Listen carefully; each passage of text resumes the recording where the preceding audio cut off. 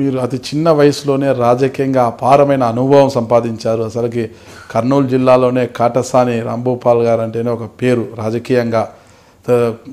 ఉన్నతమైన రాజకీయ నాయకులతో మీకు పరిచయం. అలాంటి మీరు గత ఎన్నికల్లో ఓటమి పాలు కావడానికి గల కారణాలు ఏమిటి? అంటే మీరు ఎంచుకున్న నియోజకవర్గమే తప్పంటారా? ఇతరతర కారణాలు ఏమై ఉండొచ్చు అంటారు అసలు? నేను ఎంచుకునే నిజం కరెక్ట్. దాంట్లో నేను మీకు ఒకటి చెప్తాను. ఒక ఇండిపెండెంట్ కేవలం నాకు ఏ పార్టీ గుర్తు లేకపోయినా కా కేవలం రాంభూపాల్ రెడ్డి వ్యక్తిగతంగానే పాణ్యం నియోజకవర్గంలో అరవై రెండు వేల ఓట్లు వచ్చినాయి. దానికి నేను ఎంచుకునేది తప్పని ఎట్లా చెప్పడానికి కూడా లేనే లేదు. నా స్వయంకృత అపరాధం. నేను ఇంకొకటి ఇంకొకరికి ఇంకో ఇప్పుడు సెకండ్ ఓటు మా నాయకులు అయితేనే వీళ్ళు చెప్పడంతోనే కొద్దిగా ఇబ్బంది పడినా కానీ లేకుంటే లాస్ట్ వరకు ఇప్పుడు ఇంటెలిజెన్స్ రిపోర్ట్స్ అందరూ కూడా ఇండిపెండెంట్గా అభ్యర్థిగా నేనే గెలుస్తానని మొత్తం వాళ్ళ సర్వేలో కానీ ఎక్కడ కానీ ఈ ఓట్లు మిస్ కావడంతో నేను పద్నాలుగో రౌండ్ వరకు కూడా నాకు మెజార్టీ పద్నాలుగో రౌండ్ నుంచి తగ్గిపోయినాయి తప్ప పద్నాలుగో రౌండ్ వరకు కూడా మెజార్టీలోనే నేను. మొత్తం మీద ఎన్నో స్థానంలో నిలబడ్డారు మీరు రెండు వేల నేను రెండో స్థానంలో. తెలుగుదేశానికంటే నేనే సెకండ్ ప్లేస్లో నిలవన్నాను నేను.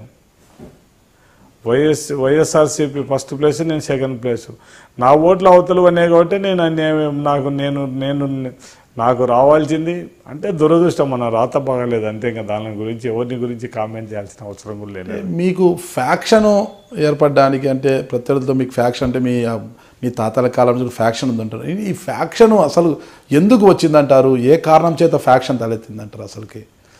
ఇవన్నీ ఏం లేదు. ఇంతకు ముందు ఫ్యాక్షన్ ప్రిస్టేజ్ల కోసం ఫ్యాక్షన్ ఫ్యాక్షన్ పెట్టుకుంటారు. అంటే ఆధిపత్యాల కోసం. ఆధిపత్యాల కోసం. అవి చాలా తక్కువ ఉండే పరిస్థితులు ఉన్నది ఇప్పుడు వచ్చినాయి అంటే ఇప్పుడు ఈ రీసెంట్ ఇవన్నీ ఫ్యాక్షన్ తగ్గిపోయింది కానీ అంతకుముందు కేవలం ధన సంపాదన కోసం అంతకుముందు ప్రిస్టేజ్ల కోసం ఫ్యాక్షన్ పెట్టుకుంటే కేవలం డబ్బుల కోసం ఫ్యాక్షన్ పెట్టుకునేటోళ్ళు చాలా మంది ఉన్నారు. అంటే ఫ్యాక్షన్ పెట్టుకుంటే డబ్బులు వస్తాయనే ఉద్దేశంతోనే. మీకు బిజ్జం కుటుంబానికే ఫ్యాక్షన్ ఏర్పడింది ఇతరతర వారితో కూడా మీకు ఫ్యాక్షన్ ఉందంటారు అప్పట్లో?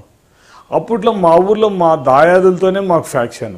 మీ దాయాదులు అంటే ఎవరు? మా మా మా రామ్ మా మా అబ్బ పెద్దరామిరెడ్డి ఆయన వెంకటరెడ్డి అనే కొడుకులతో మాకు ఫ్యాక్షన్. అంటే మా దాయాదులే వాళ్ళు. వాళ్ళు కూడా కరసాన వాళ్ళే వాళ్ళతో ఫ్యాక్షన్ అంటే ఇప్పుడు ఇవన్నీ కూడా ఏమైపోయినాయంటే చెన్నంపల్లె గుల్లసింగవరం ఇవన్నీ కూడా ఇవన్నీ విలేజెస్ అన్నవరము కోనాపురం ఇవన్నీ కూడా ఇంటర్లింక్స్ మొత్తం ఊర్లలో ఊళ్ళో ఉండే గ్రూపులలో డివైడ్ అయిపోయినాయి.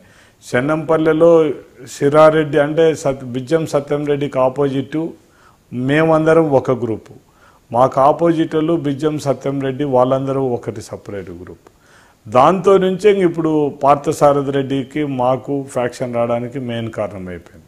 అంటే ఆధిపత్యం అంటే ఏ కారణం చేత ఆధిపత్యం? అంటే మీకు మీ దాయాదులకు ఏ అంటే విలేజెస్లో పెత్తనం కోసం అంతే మాది జరగాలి మాదే జరగాలంటే మాదే జరగాలంటూ అంటే దాయాదుల మధ్యనే అలాంటి సంఘర్షణలు చోటు చేస్తుంటే వేరే వర్గాలు అయితే పర్వాలేదు. దాయాదుల కంటే ఇప్పుడు ఒకటి సమస్య ఏమిందంటే నైంటీ పర్సెంట్ కొన్ని మాటల పట్టింపుతో ఫ్యాక్షన్ వస్తాయి. ఇప్పుడు మా మా విలేజ్లో చూసుకుంటే కేవలం మా ఫాదర్ మాట కోసమే ఈ ఫ్యాక్షన్ రావాల్సిన పరిస్థితి. మా దాయాదులు ఇప్పుడు ఎవరైతే మాతో ఫ్యాక్షన్ రామిరెడ్డి ఉన్నాడో అతను మాకు మాకెళ్ళిండి వెంకటరెడ్డి మా ఫాదర్ మధ్యన. వీళ్ళిద్దరి మధ్య రామిరెడ్డి మధ్యన వెంకటరెడ్డి మధ్యన వీళ్ళిద్దరి మధ్యన కొద్దిగా డిస్ప్యూట్స్ వచ్చినాయి.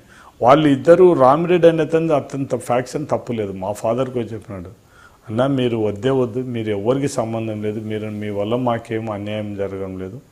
మేమిద్దరం ఫ్యాక్షన్ పెట్టుకుంటాం తప్ప మీరు దీంట్లోకి ఎంటర్ కావద్దని చెప్పినాడు.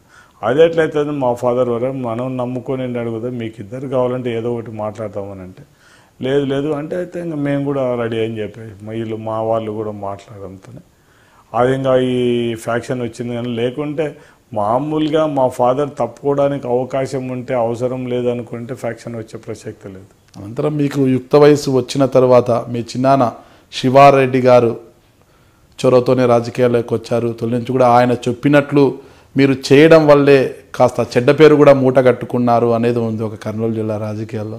అది ఎంతవరకు అన్యాయం ఏం లేదులే. ఒకటి తొంభై తొంభై తొమ్మిదిలో మాత్రం ఒక తప్పు చేసింది ఏమిటంటే